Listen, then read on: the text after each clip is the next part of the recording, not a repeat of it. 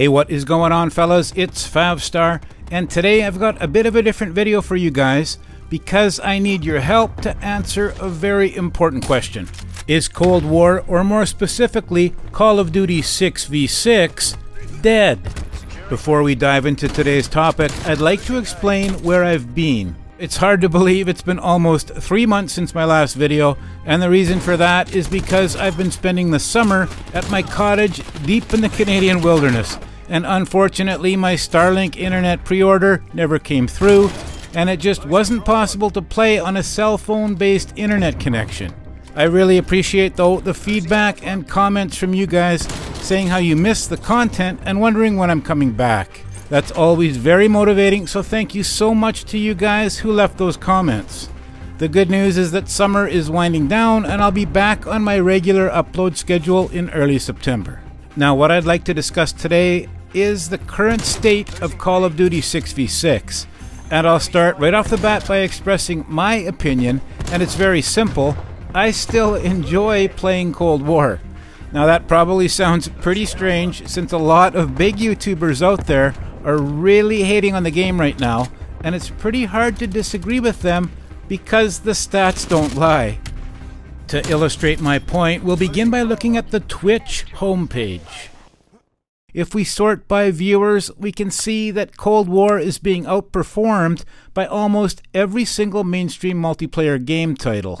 Now, if we assume that a game's popularity can be represented by its viewership on Twitch, then Cold War is in serious trouble. Even ASMR relaxation content is proving to be more exciting than Cold War, and by a lot.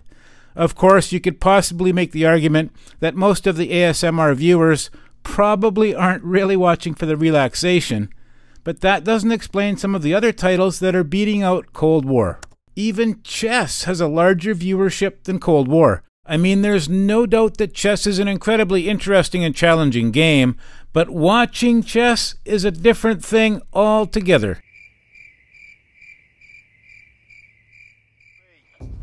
I think another important metric to examine is the game's popularity on YouTube. Now, looking at some of the bigger Call of Duty 6v6 content creators, we can see they've had very little growth since the launch of Cold War with views down significantly when compared to previous years.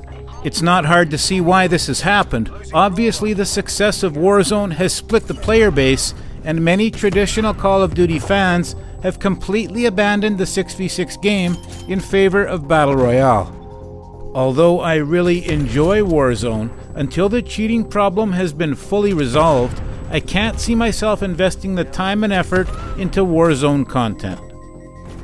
All of this information brings me to a crossroads in terms of my channel's content, and this is where I really want to hear from you guys.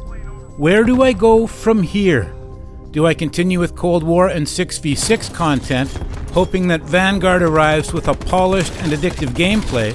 Do I focus primarily on Warzone and hope for a robust anti cheat, which the devs have been promising for a very long time? Or do I look for a new game altogether?